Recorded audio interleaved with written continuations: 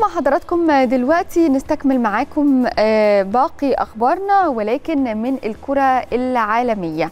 طيب نبتدي معاكم أول خبر عالمي من خلال نادي يوفنتوس. في إبرام صفقتين متتاليتين اليوم بضم دينيس زكريا من بروسيا مونشنجلادباخ وفيدريكو جاتي من فرنسوني وأشار رومانو الصحفي الموثوق في الانتقالات في شبكة سكاي سبورتس إيطاليا إن زكريا سينضم مقابل 5 مليون يورو بالإضافة ل 3 ملايين أخرى كإضافات. أكد رومانو إن العقود تم توقيعها بالفعل. وذكر النادي الألماني إن اللاعب صاحب ال 25 عام إجتاز الفحص الطبي بنجاح واكتملت الصفقة. طيب خلينا نروح لمانشستر سيتي ودايما كنا بنتكلم الفترات اللي فاتت يمكن كل كنا شوية بعيد عن الدوري الإنجليزي والأحداث اللي, اللي هناك بسبب طبعا منتخبنا الوطني ومشاركته في كأس الأمم الأفريقية. ولكن مانشستر سيتي دايما كان عنده مشكلة في ال striker كان على طول بيدور على مهاجم. بيعلن نادي مانشستر سيتي النهارده عن ضم المهاجم الأرجنتيني جوليان ألفاريز قادما من نادي ريفر بلات وأوضح النادي في بيان رسمي إنه انضم ألفاريز إلى مانشستر سيتي بعد ما وقع على عقد بيربطه بالنادي لمدة خمس سنوات ونصف وأضاف كمان إنه هيكون موجود مع هيكون مكمل مع نادي إن شاء الله مانشستر سيتي. ودايما بتتكلم عن إن إن مانشستر سيتي بيدور على اللعيب ده. عنده لعيبة كتير قوي.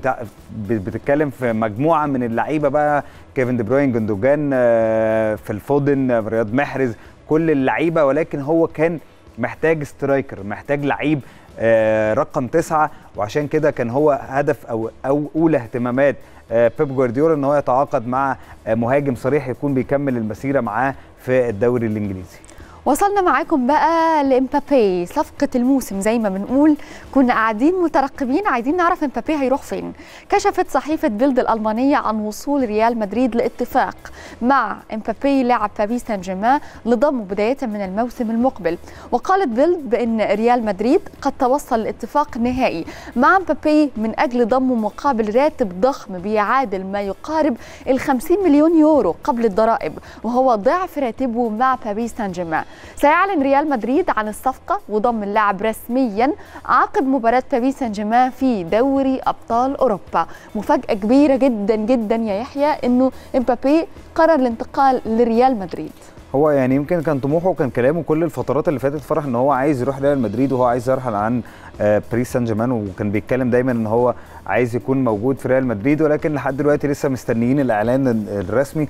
حتى يعني يمكن هي الصفقات الأيام دي كلها زي ما كنا بنتكلم عن مانشستر سيتي بيجري صفقة ولكن هتكون هيكون اللعيب مكمل مع ريفر بلات لحد يوليو 2022 على سبيل الاعاره بعد كده بيعود لمانشستر سيتي مبابي نفس الكلام هو طموحه من الأول عايز يكون موجود في ريال مدريد وهو حابب إن هو يكون موجود وأعتقد إن لما يبقى لاعب حابب يبقى موجود في حتة هيبقى بيتألق فيها بشكل كبير جدا. خلينا نروح لنادي إيفرتون.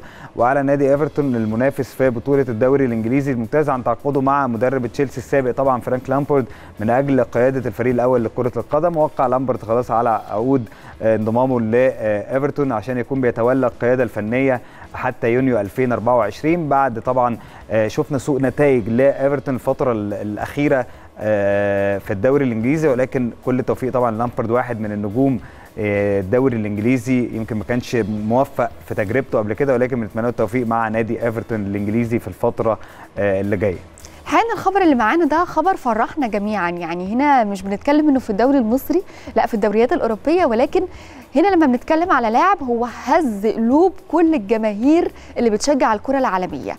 والخبر ده فرحنا جميعا بعودته مرة تانية للملاعب. هنا بتكلم عن إريكسون لأنه أعلن نادي برانتفورد المنافس في بطولة الدوري الإنجليزي الممتاز عن تعاقده مع صانع ألعاب منتخب الدنمارك ونادي إنتر ميلان كريستن إريكسون وانضم إريكسون للفريق الإنجليزي على سبيل الإعارة من إنتر ميلان حتى نهاية الموسم الحالي لينضم لصفوف برانتفورد تحت قيادة المدرب الدنماركي توماس فرانك. وكان إريكسون طبعا يعني قد تغيب لمدة تصل لحوالي سبعة أشهر عن الملعب بعد السقوط المفاجئ في مباراة الدنمارك وفنلندا في كأس أمم أوروبا يورو 2020 كشفت الفحوصات معاناته من عدم انتظام ضربات القلب ولم يلعب أريكسون مرة أخرى منذ شهر يونيو 2021 طبعا كان في نصايح بعدم عودته للمستطيل الأخضر أصلا مرة تانية من هو يعتزل كرة القدم ولكن الدنماركي تعافى وعاد مرة تانية عن طريق برانتفورد بنقول له ألف مبروك وإن شاء الله يعني يتألق وطبعا يرجع لكل محبينه. ودايما لما بيكون أي لاعب بيعشق أي